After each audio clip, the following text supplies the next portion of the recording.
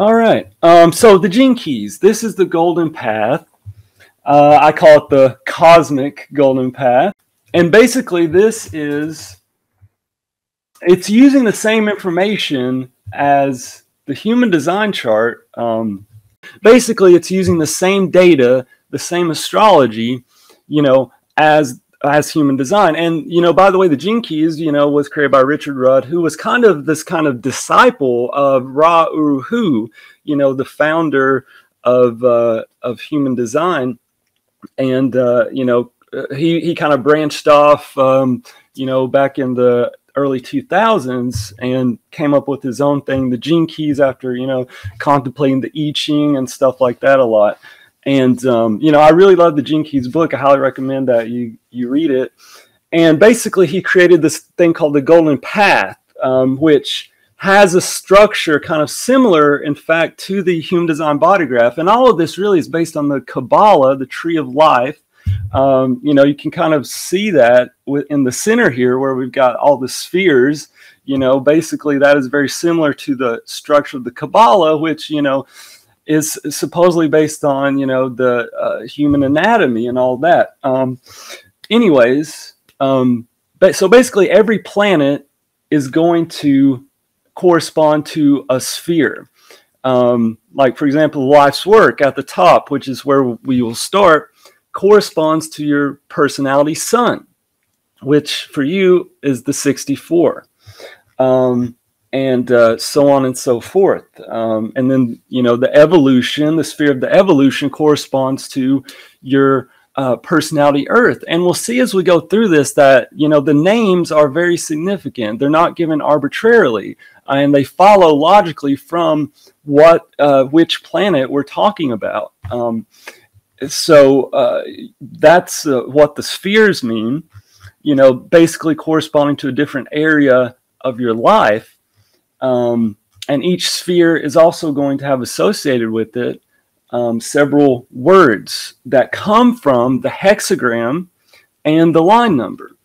So, for example, your life's work is going to be um, the teacher. We see that your sun is the 64.6. And um, over here, we see your life's work is the teacher confusion, imagination, illumination. So the first word, the teacher, comes from the line. Um, so you've got the sixth line, personality sun.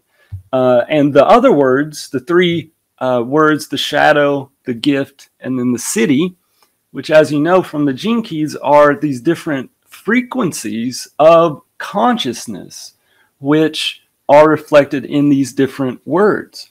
Um, of the 64, the 64th hexagram. So the 64, the shadow is confusion. The gift is imagination. The siddhi is illumination. So this theme of the 64, we can kind of get a better idea of what it's really talking about when we look at these words side by side with the name of the hexagram, for example, and some things from the I Ching. Um, for example, the 64 as we talked a, a, little bit about last time, I think, is the last hexagram of the entire I Ching before completion. Before completion, what is the completion is talking about? It's talking about freeing the true self from basically the ego's dominance, which is this mental, this kind of false mental construct that has kind of been um, engendered in basically the whole human race um, and basically creates this kind of parallel reality. This is according to the cosmic I Ching.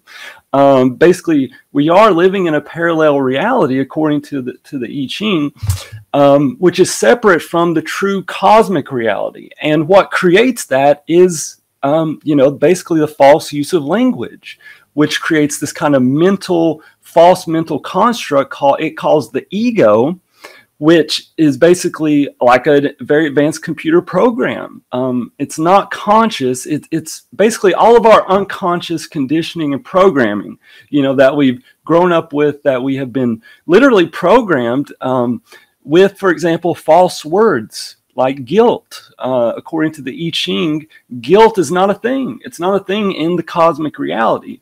Nevertheless, Uh, we've all felt guilty for something, probably.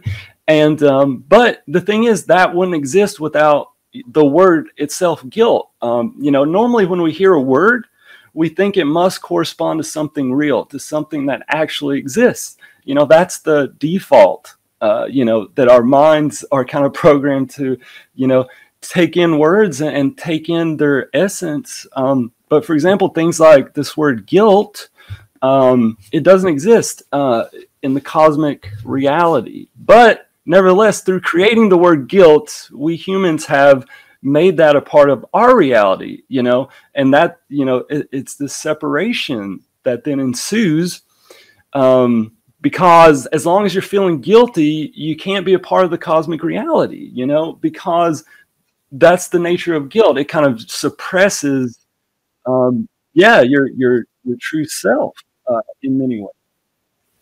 Anyways, um, so this completion that the I Ching is talking about is freeing the true self, um, which to me means that we um, return inwardly to our original cosmic programming, uh, which is there, which is the true self, but which may be very much suppressed inwardly.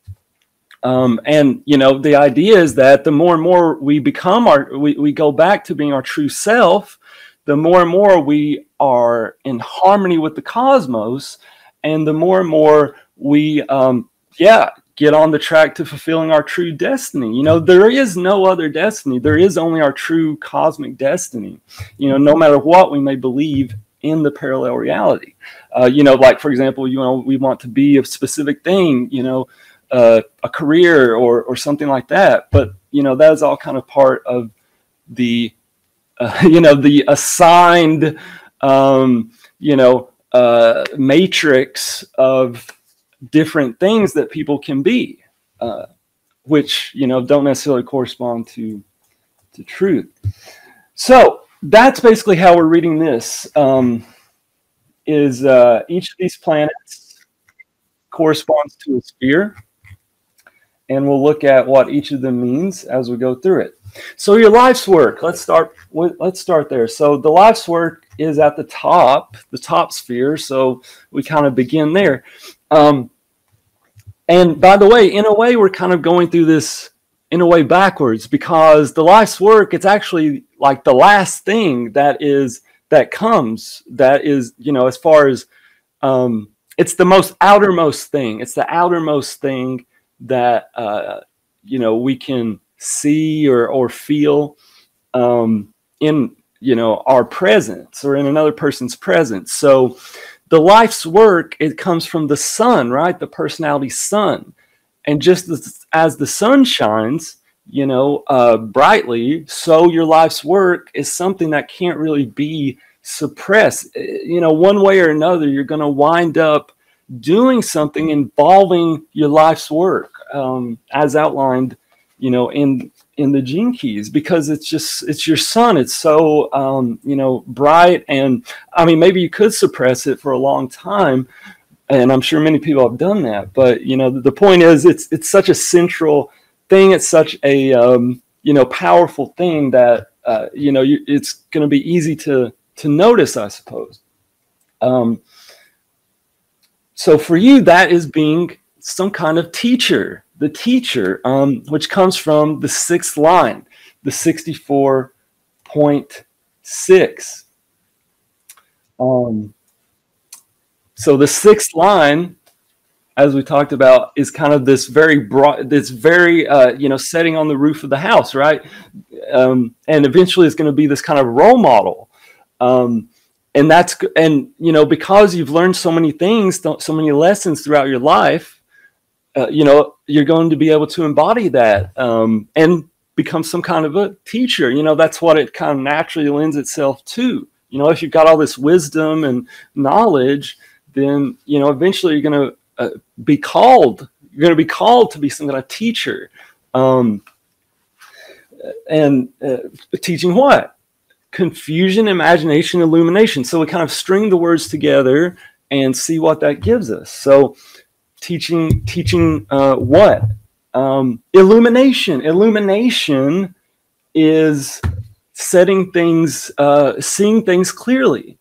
Um, confusion is, you know, kind of the situation we're in, we're in right now on a world level. Nobody really knows what's going on. Um, people are confused about their lives. Uh, you know, nobody's really being their true self.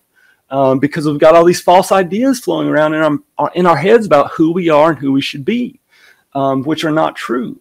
Um, and the thing is, those words and those you know languages um, they they do influence people subconsciously, unconsciously. That's what the ego is. This kind of unconscious influence program that um, causes us, in a way, to yeah, even act against our will. You know, if there are um, you know uh, through what the I Ching calls a spell, and a spell is created when we say words in a certain way um, that describe, uh, you know, it kind of puts a fence around our thoughts.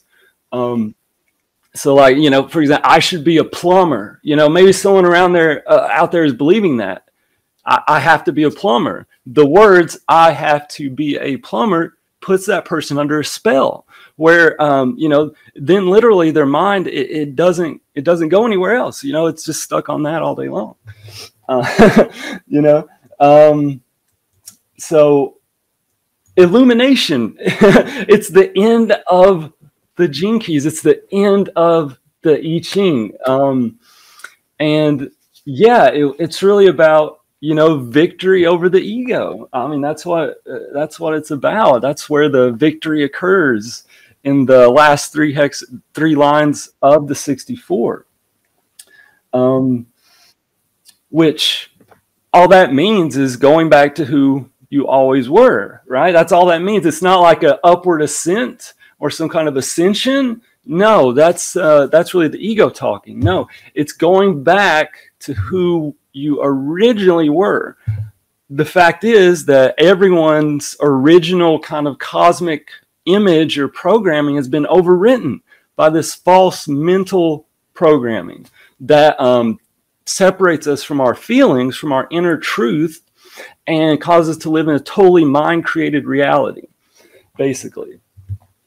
Um, so, I mean, and yeah, you've got the 45 as well. You know, that's why I'm so excited to give you a reading because, you know, I can tell that you're going to um, be someone who has a lot of knowledge who people are really going to want to come to to to potentially learn about some of this stuff um, and uh, the brand, the uh, the brand you see here is uh, kind of uh, it's also appears kind of side by side with the life's work, um, because the brand is also the personality sun, um, but it's kind of part of a later sequence. See, there's uh, several sequences here, which I don't have them colored, so it might be difficult to understand at first. But basically, we have the activation sequence, which is looks like a Z, the life's work to the evolution to the radiance and then to the purpose. That's basically one sequence. And then we have the Venus sequence, which starts at the purpose and then kind of takes this zigzag path up to the core wound slash vocation and then we turn it into the pearl sequence, which is about our um, how we uh, uh, work in business and stuff like that, and how we can make money. and and that last uh, sequence is the core wound culture, and then the brand, and then the pearl. So really, the brand is part of that latter pearl sequence talking about business and you know how you should brand yourself, that kind of thing. Um, so that's what I mean by brand. Um, how should you brand yourself? How should how should you brand what you're selling or what you are offering people? You know, just in terms of your life. You know, just in terms of who you are, and that is vision, vision, vision, vision, vision, vision for the sixth line. Um, yeah, you're to have this um, incredible vision, really. It may not make a lot of sense, it may not be very clear right now, but it is a vision uh, because the sixth line is very focused on the future. you know, more so than any of the other lines. You know, you're always thinking about the future. You're, you're thinking about what could potentially go wrong, you know, before you decide to do something, or, you know, uh, maybe if you uh, want to have kids, maybe or you did have kids, maybe you'd be thinking something like, "How can I raise my kids in a world like this?" You know, or something like that. You know, it's really so you're always kind of planning for the future in a way, um, thinking of the future. So that lends itself to having this vision, you know, which goes in hand in hand with teaching and education. So, you know, um, that's the brand, uh, which I guess was pretty obvious from you know the teacher, but um, yeah, uh, you know the emphasis is on the vision. Um, the challenge slash evolution. So there are also these different path paths, right? So um, from the life's work to the sphere of evolution, we see that's the pathway of challenge. And um, it's called that because this sphere of your evolution comes from the personality Earth, the 63. Now, the sun and earth are opposed to one another. They are opposites, they're complements, but you know, they're 180 degrees across each other on the zodiac. So it's an opposition. So in a way, your earth energy is the opposite of the sun energy um, in terms of creating a perfect balance. Now, in the world today, that may feel like a challenge. It may feel a challenge to, um, you know, have your earth where it is because, in a way, it is that opposite energy. So it may feel like a challenge, and in a way, it is because it's designed to help you evolve and, you know, challenge a challenge, a real challenge can help one to do that. Um, so your challenge evolution is the 63 after completion, after completion. How do we deal with things after? How does any of this endure? Like, what are the conditions for actually making something work and and it stays good? I mean, you may yeah, I, I, sense that maybe you have all these, you know, great ideas about things, but then when it comes to, you know, the practical aspect, the, um, you know, how does it survive long term? Then it's like question mark, question mark, question mark going on. You know, you, you, you, you those are like blanks that you know you're going to fill in eventually, but it's not entirely clear. It's not entirely clear because this is your challenge slash evolution education and surrender. Education and surrender, doubt, inquiry, truth. So I always like to look at the shadow first because, in a way, in our reality, that is the most uh, close to home. You know, it's the one we can most identify with because there's so many shadows in the world. Um, in a way, it is the shadows of the gene keys that create the parallel reality itself, the words themselves. Um, so, doubt, doubt is the shadow of the 63. Doubting if it's really possible, you know, if it can really work. Um, you know, how can this really work? I don't know. I need to figure it out. You know, it's it's it's not clear. Um, and so yeah, inquiry and truth. Um, so your earth, your challenge, and by the way, the earth energy, I like to think of it as what you keep coming back to. You keep coming back to it, and it is this strong, stable energy for you. Um, but it's something like almost automatic. You know, it feels almost automatic, and it's not something you really think about too too much. Um, doubt, inquiry, truth. So you know you're always um, asking questions you know you're always wanting to find the truth really. That is kind of your rock you know the earth is like this rock um, this dependable force that uh, you know doesn't move or it's always there it's always there.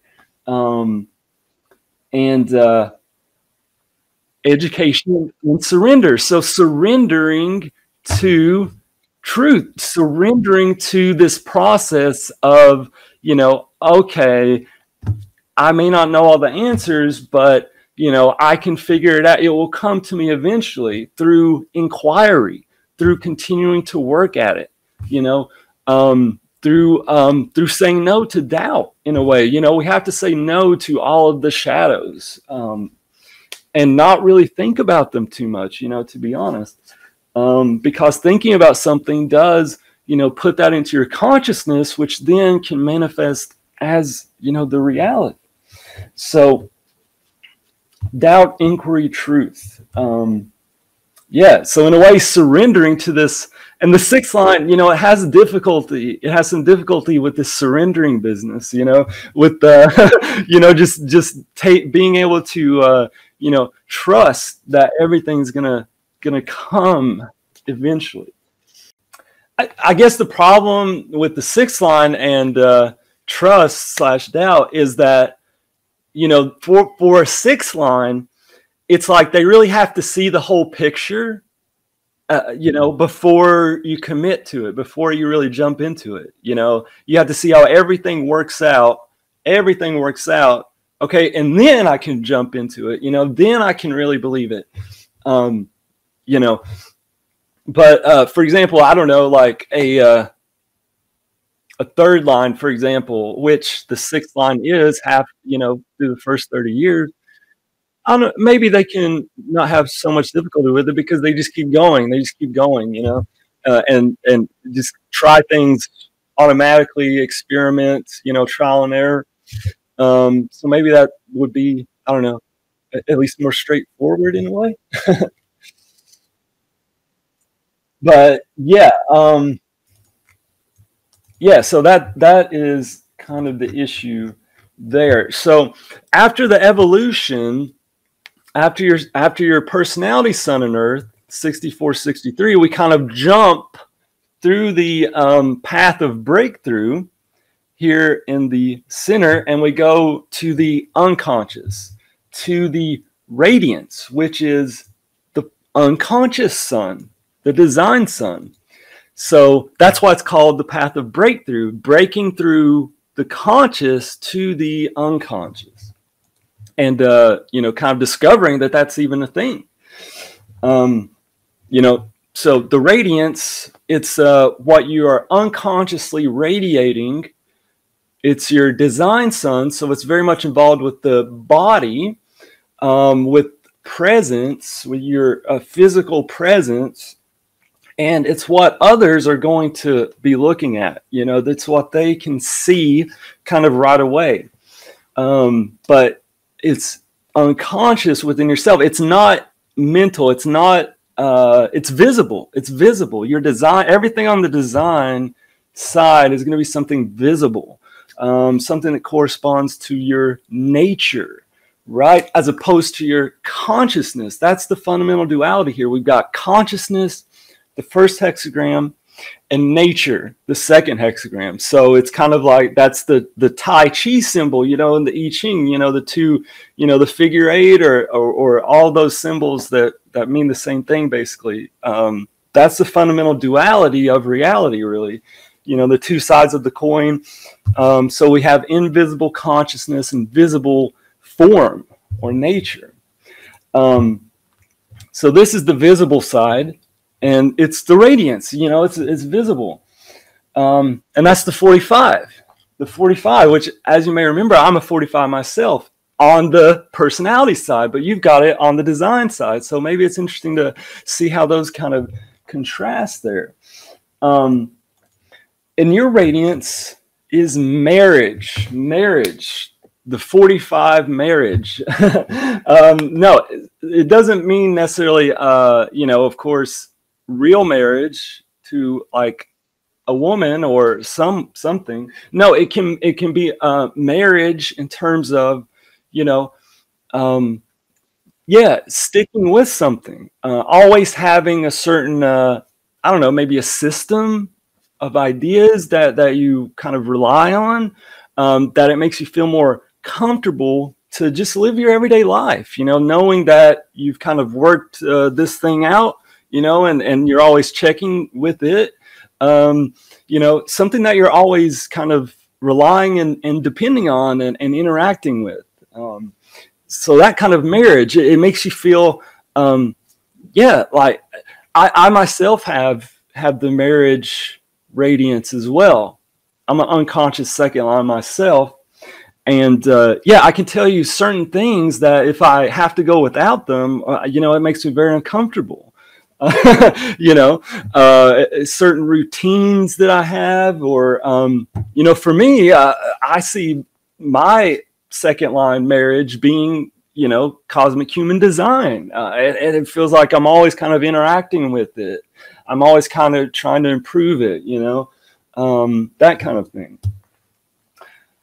And for you, the marriage is going to be about the 45. So dominant synergy communion. Marriage to what? Yeah, some so synergy, like looking at the synergies between things.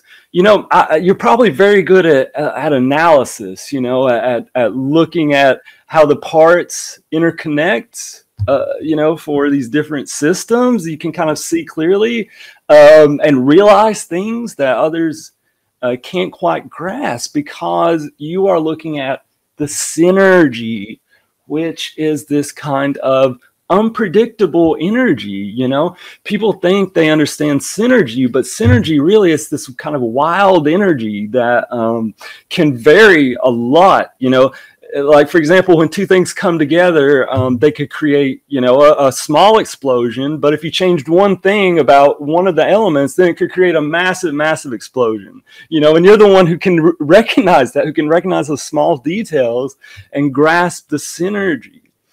Um, you know which is what the 45 really is all about seeing the whole rather than just the parts.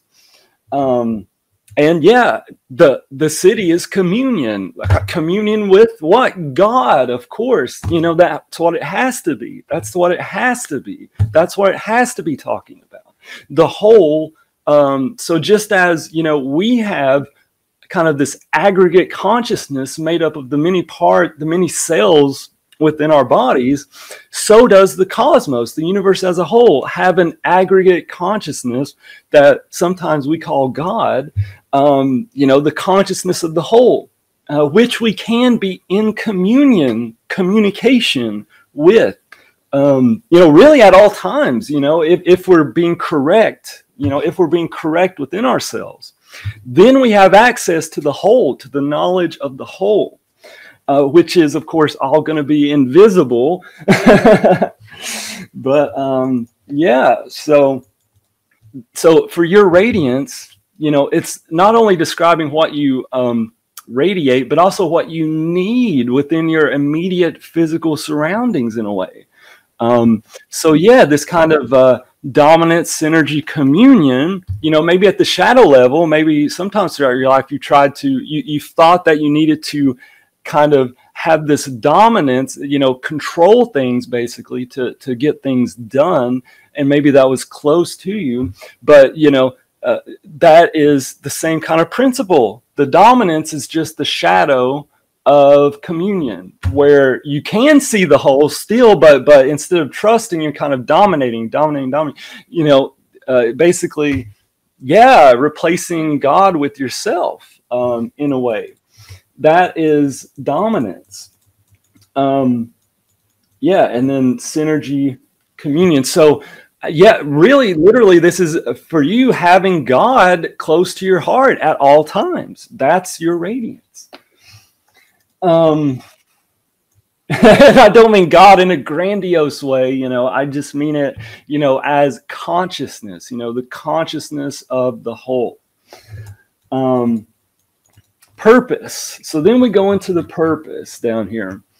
And this is the pathway of core stability. It's called core stability because this connects the design sun to the design earth, which is the foundation. The design earth is the earth of your body. So it's the very physical, um, most physical uh, level of your being, really. And so, uh, metaphorically, we can say that if this uh, sphere is off balance, then your entire being is going to feel kind of off balance as well.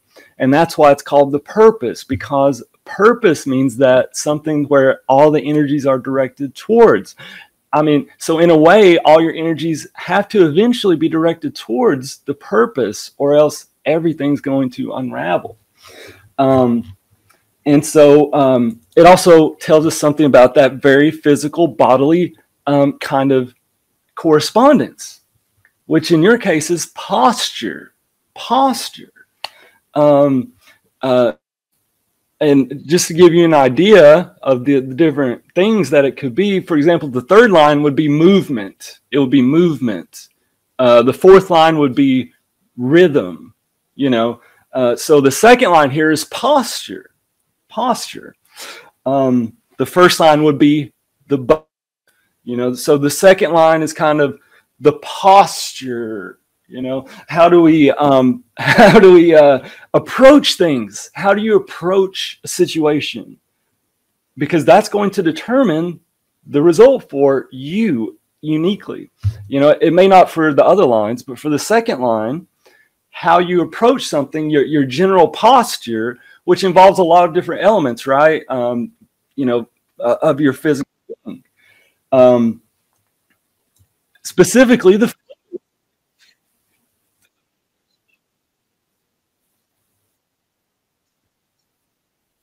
Well, the word in, so the word in brackets here, it's just kind of I guess clarifying what it means by posture. And um, like for example, uh, the fourth line, which was um, uh, you know rhythm, the parentheses is breath, breath. Um, and and yeah, the first line was physicality, and, and bones was would be what is in the brackets. So really, we're talking about fluids here because the fluid system is the system that is one up from basically the skeletal system, uh, which was the first line. So this is the second line. So it's about this kind of fluid uh, system that we have going on here, um, which includes, uh, you know, uh, like our, for example, um, like kidneys, the kidney elimination rate. And um, if, if that is what it's supposed to be, you know, that's going to tell us something about our fluid level. Uh, is it correct? Um, are, are, we eating too much salt? You know, things like that are, you know, the fluid. So it's more that it's not really talking about the blood. Um, you know, that's more of the third line, talking about the blood. But the second line, the posture, the fluids, um, basically i like to it is a bit confusing. I, I, this you know getting your head around what exactly this means but i like to think of it as how you approach things. Like that is critical. Uh, do you go into it with an attitude of you know trust or is it something else? Um, and in this case we're talking about the 26 the 26.2 um, which is the pride artfulness invisibility. So this is the taming power of the great, um, which is, yeah, probably the most skillful slash best at doing something, at doing whatever it is they're doing. You know, that's the kind of desire of the 26 to be the best. Um, and it will be, it will be the best. It can be the best um, and it knows it. it knows it. So that at the shadow that turns into pride. It turns into pride because along with that comes the ego desire to be recognized, to be recognized for being great. Um, you know, which is not the true, really nature of what's going on. That's the ego corruption seeping in. Um, artfulness and invisibility. So this gives us a better idea what's really talking about. Artfulness, doing something well, you know, is almost like an art. You know, it's more than good. It's more than perfect. It's it's a, has a kind of magical quality to it as well. And then at the siddhi, it's just absolutely invisible. It's everywhere, you know. And this is, of course, talking about the perfection of God. Once again, uh, you know, God works invisibly. Um, and and of consciousness in general. So, um, and the the key difference is that at the siddhi no longer cares about being recognized. That is what um, you know, that's the ego trap, basically. Um, so yeah, how do you approach things? Do you approach it with an attitude of pride, or you know, just uh, an attitude of I'm going to do my best and not really care if I get recognized? Um, yeah. So and then okay, so that's the activation sequence. So from that we can tell a lot, right? And, and it's those four I just went over are equivalent to your incarnation cross which was the cross of dominion. People whose interpretation of the past can be impactful, using information to positions of power and authority. And as we talked a bit about the last time, you know, this cross, it's one of the last, you know, it's the last hexagram, the cross of the last hexagram, the last line of the last hexagram.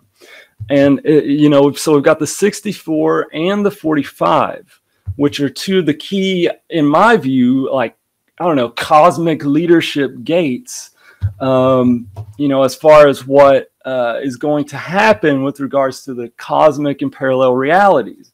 You know, people with this cross, I do believe, are going to play a pivotal role in uh, in forming, you know, uh, in uh, you know, putting out and and people uh, you know coming to them to to seek out information that has either been suppressed or you know hidden uh, for a long long time and um, you know really getting that stuff clear uh, and, and, people are going to really be begging for it i feel um, and, and that's why he gives it the name the cross of dominion using information to assume power, uh, positions of power and authority. I mean, don't worry about the power and authority. You know, maybe, maybe not, but you know, at the siddhi, that's not really going to matter too much.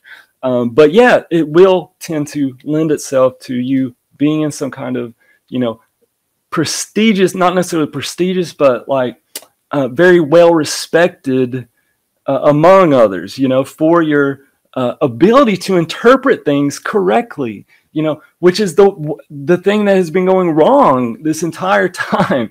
You know no one's been interpreting things correctly because we've misunderstood the basic nature of reality.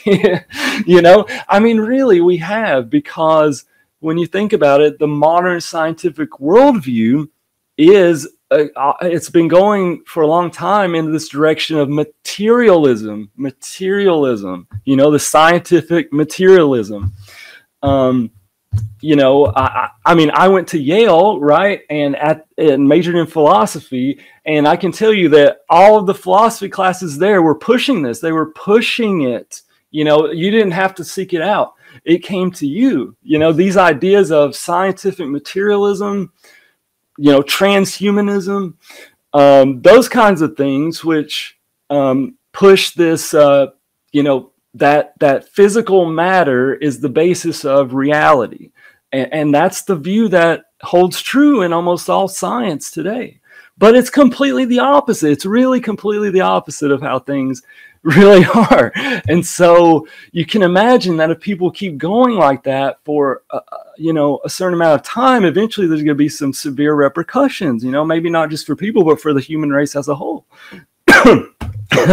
You know because to to totally misunderstand the nature of reality you know that's not going to be great. You know you know we think that the physical matter is the basis of reality but in fact consciousness comes first. Conscious the invisible consciousness of the cosmos and our consciousness it comes first. And then what we see the physical reality we see, is a manifestation of that you know not the other way around.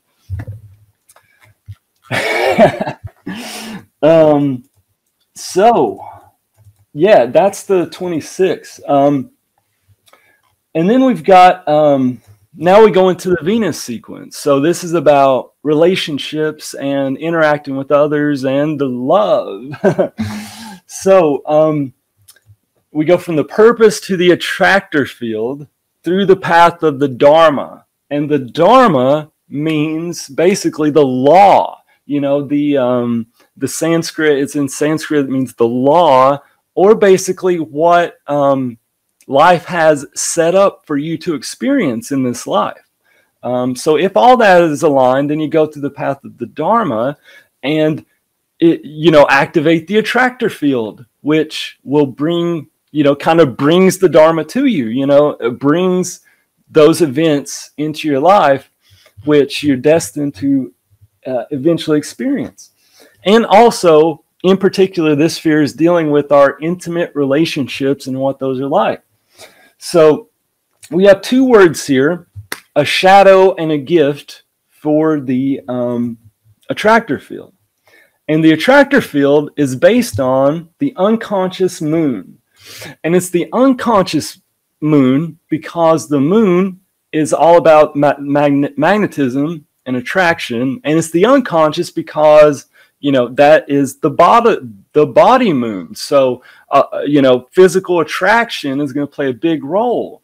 Uh, that's what we're talking about. We're not necessarily talking about like telepathy. You know, we're talking just talking about what comes to you naturally without you having to do anything, and that's the unconscious moon.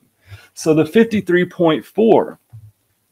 Um, what is that? It's um, it's called uh, uh, uh, developing the true self. Actually, that's the name of the hexagram. Developing the true self. Um, in the older versions of the I Ching, it's called uh, progressing gradually, you know, kind of like gradual progression. So uh, the idea is that we're progressing. Um, so this kind of, you know, optimism, this kind of like, you know, um, it's gradually improving, it's gradually getting better. You know, that is what you are attracting. Um, and yeah, ideally, you know, your your uh, you know mate or whatnot is going to embody some of those uh, qualities you know it's going to be attracting the correct person for you um, so uh, the first two words here uh, frigidity slash romance and distant slash intimate. So these are the different ways this um, fourth line remember the first words are always the line uh, expresses itself. So the fourth line the shadows are frigidity and uh, you know being distant. And the gifts are you know romance and intimacy. You know that's the ideal. That's the ideal what the fourth line attractor field is wanting. It's what it's bringing in um, so um, yeah and and dealing with these uh, specific um, for example the shadows will be dealing with immaturity. So, um, frigidity and distance in an intimate relationship for you, they're going to be connected to immaturity, to some kind of notion of immaturity. Maybe maybe they're not mature enough. Uh, you know, maybe that's what really turns you off about them. You know, maybe that's what causes you to, you know, just, uh, you know, I can't, I can't do this. You know, that is, is if there's some kind of immaturity there maybe they don't take things seriously. Um, but at the gift and siddhi, you know, it's about the expansion. It's about constantly getting better, constantly getting better. So you ideally would perhaps possibly need to be with someone who has that kind of attitude, who, you know, has this attitude of growth you know our like our relationships growing it's always getting better it's always improving you know this kind of just optimistic attitude, you know, this, yeah. Um, and then the superabundance, you know, we can have everything, you know, we can, and you really can, you know, and, and not having your cake and eating it too, you know, but yeah, really, really having the cake and eating it too, I suppose. Um, so yeah, that's the attractor field. Um, and then the path of the karma, um, which basically means work or action, um, will lead us to the IQ, the intelligence quotient. and it's not, uh, you know, that kind of mathematical definition of IQ in terms of numbers, but rather a qualitative definition of IQ and how our mind thinks, how it works in terms of the different types of consciousness. And um, that comes from the conscious Venus, actually. The conscious Venus.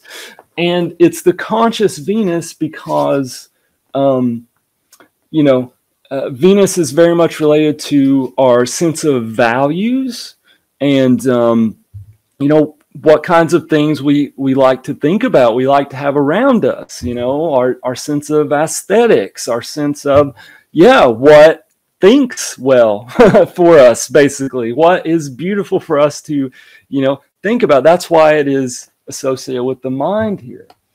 And we've got the 31.3 um and yeah let's do the line first. The three. So the third line. So the lines, they again, the lines are um, modific, like kind of like modifications of the overall energy.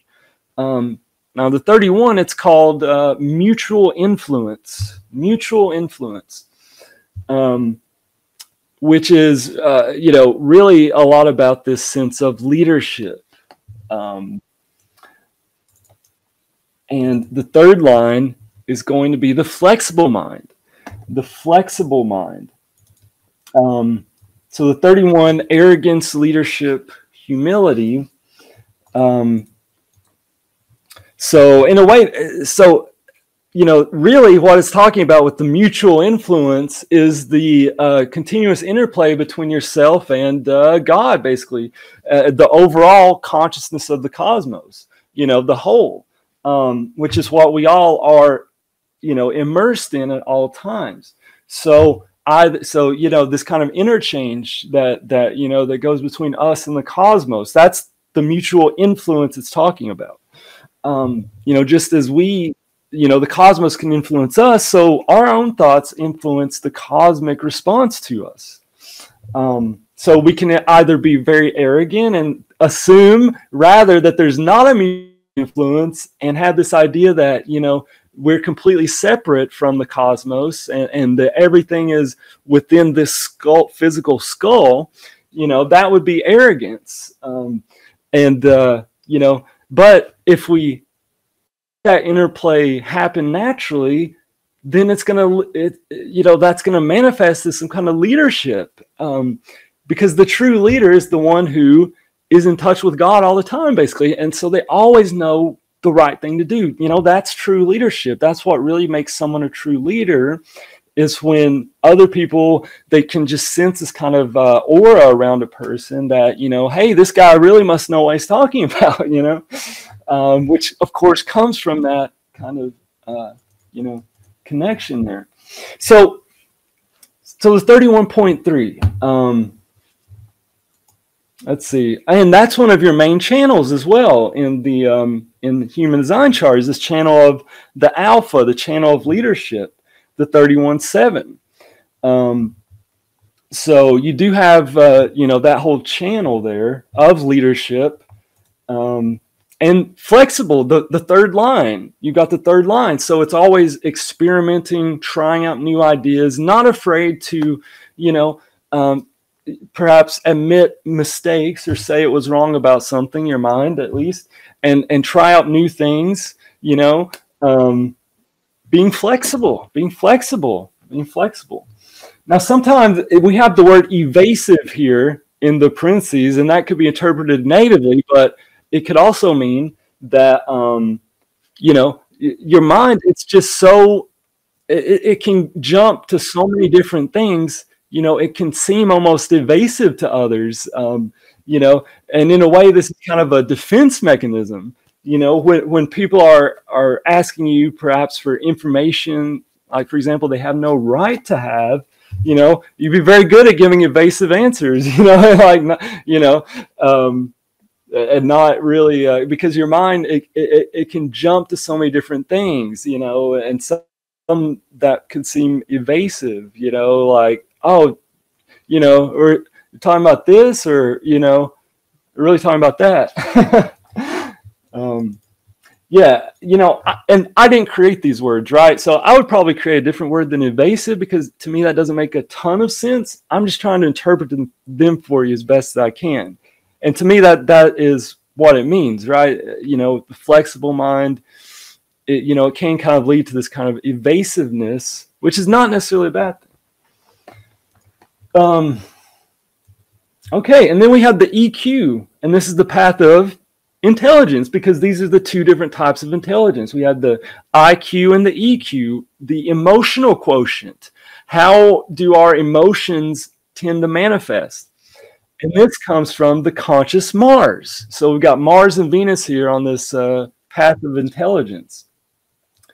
And uh, we've got the 39.5 for uh, the EQ. Now, um, I like to think of the EQ as how you interact with others. And it can either be with through the gift or the shadow, tend to be at least. Um, so you you tend to either interact with people in terms of you have this kind of great respect for them, you know, and take everything they say very seriously and, and um, you know, uh, very courteous and all that, or it could be kind of this lack of respect, you know, and uh, and then you're just like not really interested in, in you know anything, anything, anything about you know what they are basically. Um, and you know that that tends to be through this 39 this 39 um, the provocation the dynamism the liberation so this sense of this dynamic energy in people um, you know maybe even a sense of oh they're okay with some jokes even you know that's one way the 39 likes to uh, likes to uh, see who's correct for it or not. You know, around the dinner table, maybe you kind of poke fun at someone and see how they respond. Well, it's either they're either going to react negatively or positively to that. And, you know, that's one way. If they react negatively, then you know that maybe that person's not really for you. They're not really getting it. Um, you know, because they don't really have that that spirit. You're looking for this certain spirit within a person that can you know let you know if if they're correct for you or not you know just in terms of interacting with that's the provocation that's the provocation aspect that's what it means by provocation you know provoking someone eh, you know like a, a barb or a jab you know like you know, hey, you know, that's the provocation it's talking about because it reveals this kind of dynamic energy inside of a person. Um, and, you know, that's the respect uh, coming in. Okay, and then we've got the SQ here, which is directly in the center. So you uh, know right away the SQ is going to have a huge impact. It's going to be tremendously important for, for your whole life really because it's right in the center right in the heart of your being and that's why it's the sq the spiritual quotient which you know i like to think of as what uh, more than anything you need for your spirit your sense of self to feel okay in the world and for you that's some sense of certainty certainty and that is comes from the unconscious venus the unconscious Venus. So the unconscious Venus is the SQ, and it's the 23.1. And when you think about it, it makes sense because our unconscious Venus is, you know, our unconscious, you know, sense of values and um, comfort and and and what we need uh, to, for our physical well-being, you know, and and that so that's why it's the Venus basically, the 23.1. Um, and the first line, that's the certainty, rhythm and routine. You know, if your routine gets too disrupted, it, you know, it's like it's difficult. It, it becomes difficult. You know, uh, things need to be a certain way for you. Um, you know, you have kind of have a place for everything, and it all makes sense, and everything's efficient.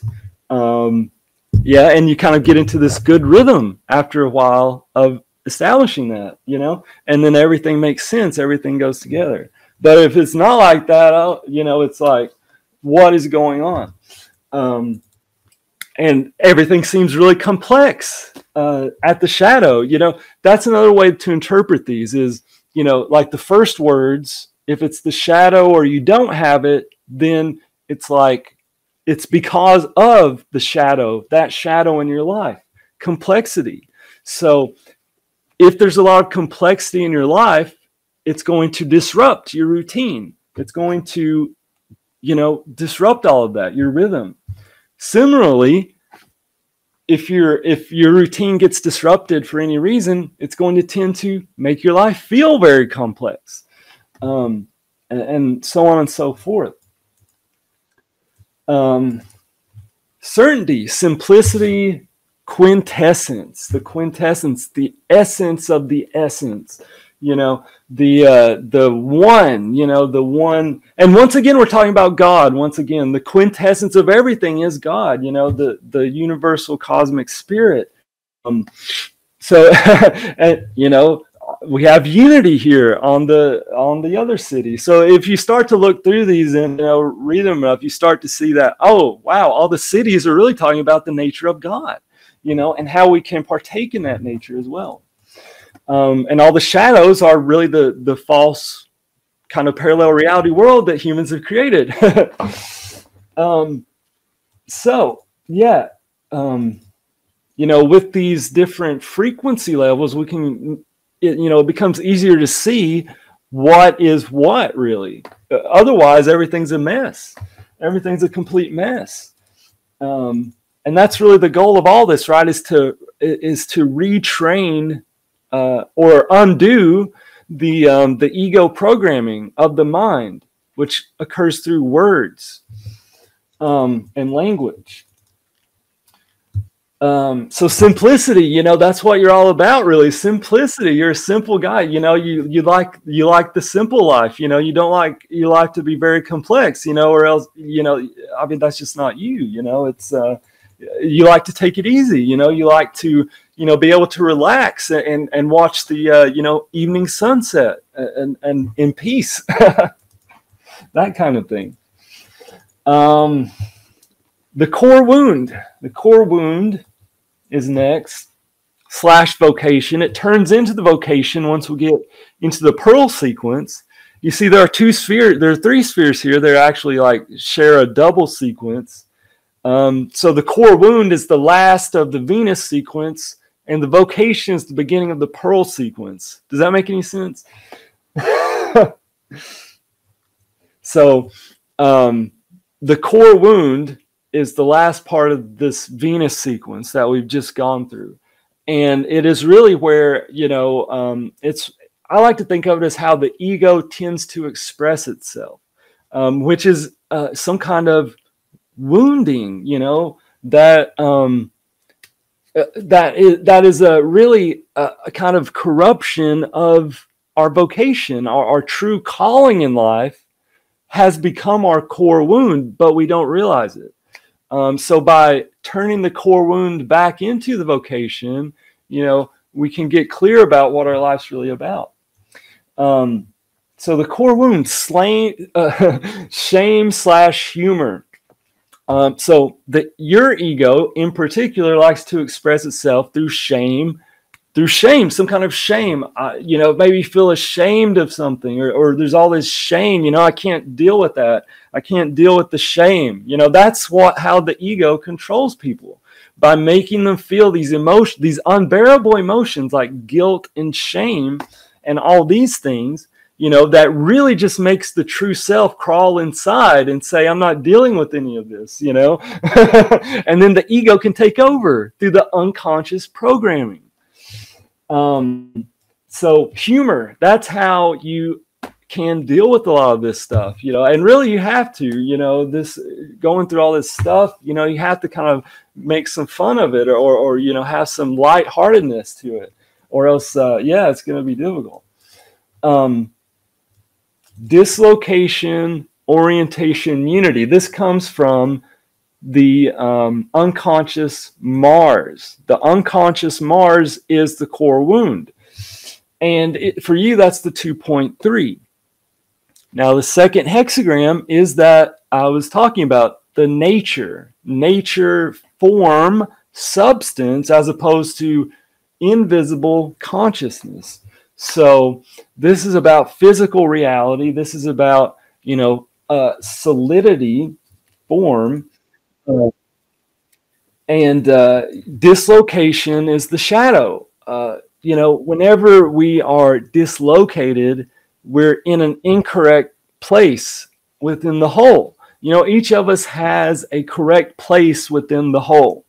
Um, and that is our orientation. You know, are we oriented in the correct direction within in terms of our attitude, our beliefs uh, about ourselves, our sense of identity?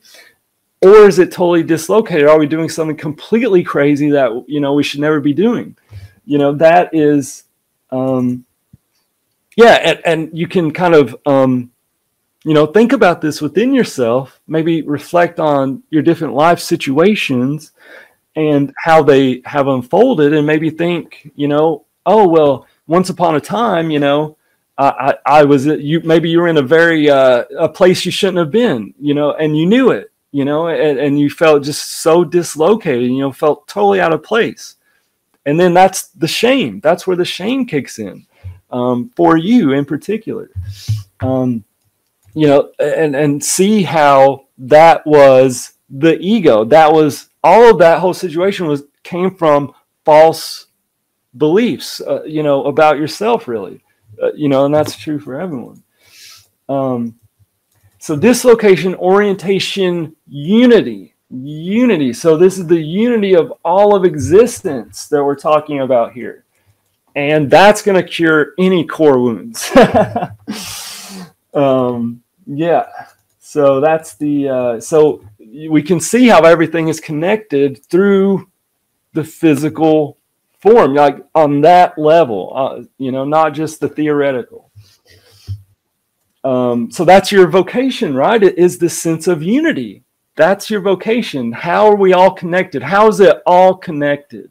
you know that is really your calling in life you know to find not only your own play, correct place in the whole but to see the whole and how it's all connected and um, you know this third line the 2.3 the third line in the vocation position corresponds to strategy.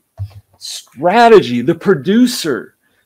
You know the producer in a hypothetical uh, you know, production company, movie company, the producer is the one who uh, coordinates, you know, the, for example, the efforts of the director, the writers, and the camera, uh, and, and, you know, the schedule in particular to make sure things get on time.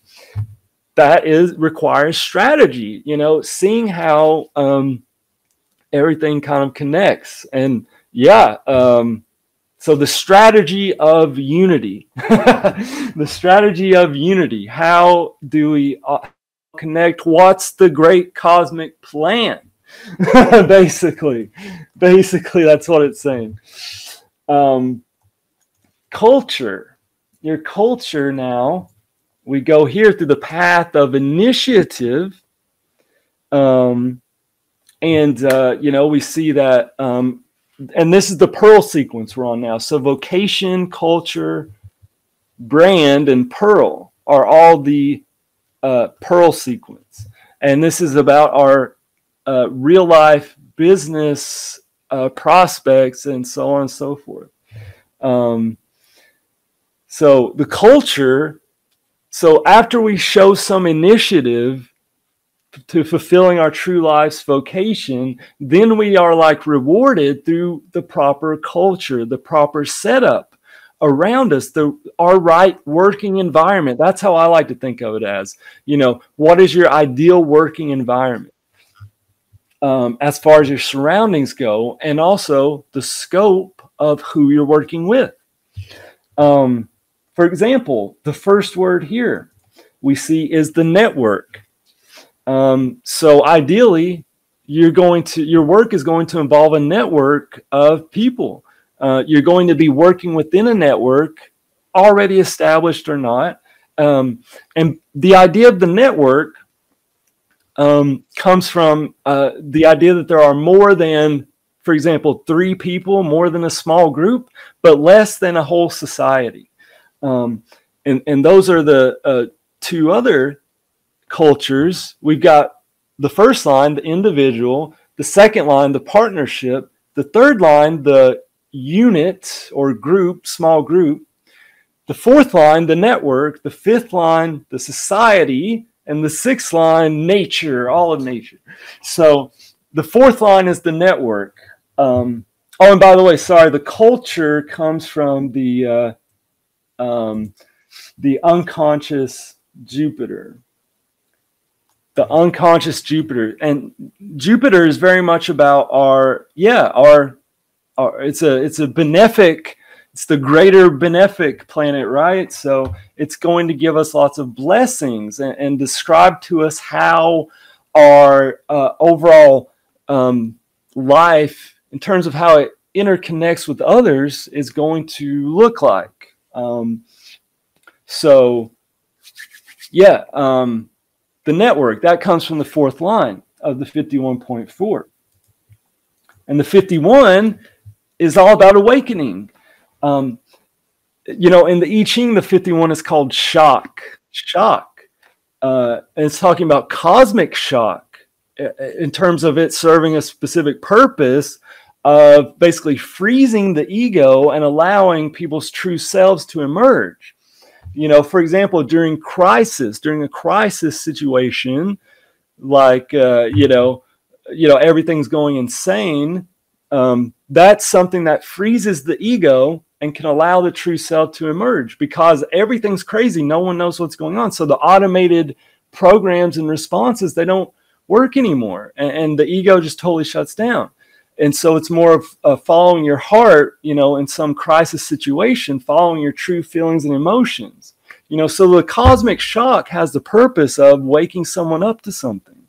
And, um, you know, that's going to be your culture. Like uh, maybe I don't know, providing those shocks to others, you know, providing that uh, sense of awakening.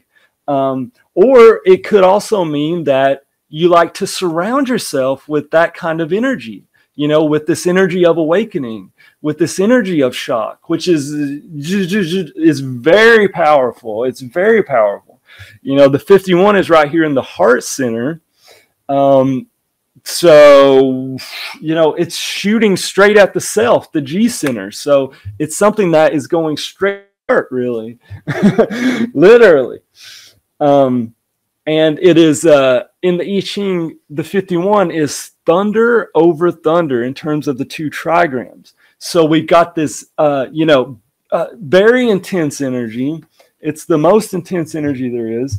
And, uh, you know, so again, that could mean either you like to work in that kind of intense environment maybe? Or like you could be providing that kind of environment to for example a network of people um, a group you know or a um, yeah a, a uh, following you know? Something like that. Agitation initiative awakening the agitation that's the shadow right? Because we're all agitated that we're trapped in a way you know that's what it's like being in a prison you know or something like that. There's this energy there that wants to get out but it can't. And so you know it leads this agitation. Um, but then we've got this energy of initiative which is taking the first step and then awakening which you know comes from this very intense burst of energy, the thunder over thunder, the shock. The shock, you know, sometimes it's necessary to shock someone to really wake them up. Um, you know, and that does have a cosmic purpose to it. Um, the pearl. So finally, we okay. So um, sorry, just briefly, the culture. We go through the path of growth to the brand, which is the same as the life's work, right? So the 64. So after you get that culture of awakening, you know, solidified, then you're ready to uh, brand yourself appropriately. And that's going to create this energy of growth, which again was the vision, the vision, the education. Uh, of the 64 illumination you know so that's how we're waking up is through this massive cosmic illumination that's happening you know and you know hey guys you know you can come see you know this is how it all works out. This is the vision. Um, this is the cosmic plan guys you know. Um, and then we go back down through the path of service to go back to the core wound, um, which was the um, the unconscious Mars, the two, the two. So we go back to the path of service to, um, which means you're providing some energy as a service for a purpose. What purpose? Of unity, uniting people. Um, and so that, you know, and then we go to the quantum. So after those three, it kind of like, you know, activates. And from all three of the pearl spheres, uh, sorry, yeah, the pearl, it is the pearl sequence after all. We get to the pearl itself, which is kind of like this great cosmic gift, which uh, we and it also happens to be the one thing we really want more than anything else. But um, and it seems like the thing that we need more than anything else to help us in our life. And it's the thing that we will indeed receive when everything is in alignment that's what all this is about alignment um, so the pearl for you is going and by the way that's going to be the 42.4 for you the um, the pearl is the conscious Jupiter. So this is a conscious thing that we're going to receive, and that in a way is the deepest part of our being, the original seed, really, of who we are. Um, because remember, in a way, we're going through this backwards. You know, the sun, the life's work, really is in a way the last thing to be created in us. And in a way, the pearl is the first thing, uh, even though we're talking about it last. So because it's the deepest, it's the deepest part, really. It, it, it's it's very packed away, you know, within all these other spheres. The pearl is, and uh, so for you, that's the forty-two point four, and the forty-two in the I Ching is called increase. Increase. So this is the energy of growth. This is the energy of progress. Of um, yeah, uh, of of getting material rewards of getting material uh, and conscious uh, accumulation of resources of energy of you know good ideas and thoughts and increasing increasing increasing and really all parts of the cosmic whole according to the i ching are geared towards increasing the whole um, and in fact the previous hexagram is called uh, decrease the 41 41 is decrease 42 is increase.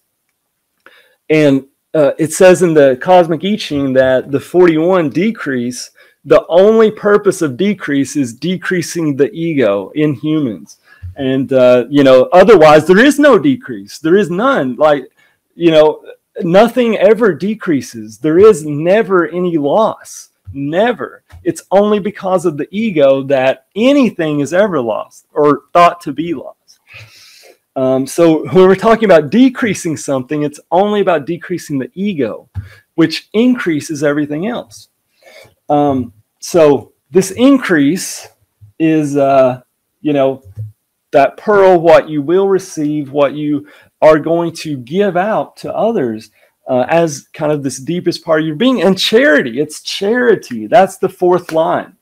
Um, and, you know, the fourth line is very focused on community and family and helping, uh, you know, uh, on a very, um, you know, one-on-one type of level, you know, uh, interacting with small groups of people or one or two other people, charity. So it's almost like, yeah, you're, you've reached the point where you're donating, not donating for no value, but, you know, you're giving something uh, that you don't necessarily have to that's the idea and that it makes you feel um, complete to do so um, and it also means that you're probably going to receive a lot. You're going to receive a lot so that that can be a possibility.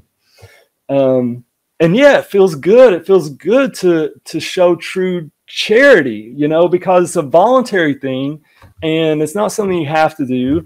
And, uh, you know, it's not a grandiosity or a magnificence, but, you know, just simply how things naturally interact and what makes you feel complete within yourself. And we've got the 42 words expectation, detachment, celebration. So, really, at the end of the day, it's all about the celebration for you the celebration of life, and uh, you know how much um, good that you have received or will receive, and, and then how good it feels to be able to transmit that you know to others in a way, and uh, getting rid of the expectations. Really, the expectation is the shadow.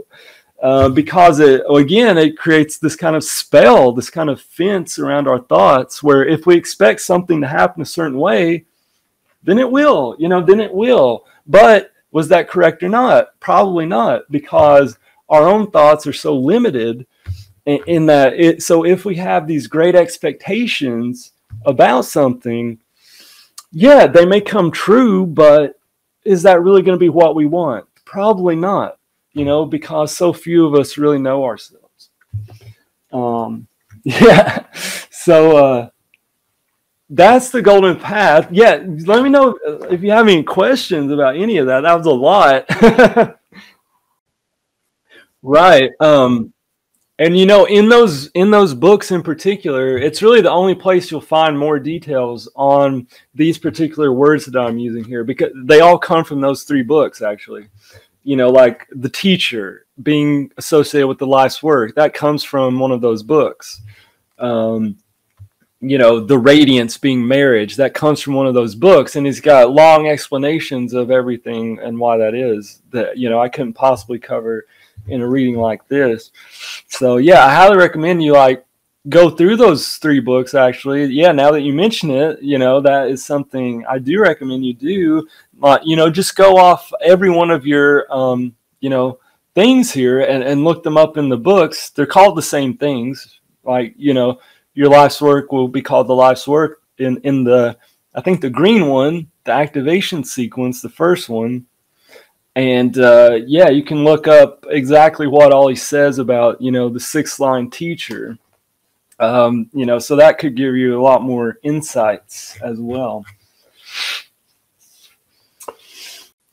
Yeah, and you know, it it really takes uh, some contemplation on all this, right, before you really start to get it and you really start to feel the truth of it. Um, you know, with and, and you know, it takes time for you know to kind of um, yeah to get this kind of sense of um, I don't know, certainty that, hey, this is really true, you know? And, and so, uh, what does that mean? What does that mean for my life and how I should live it?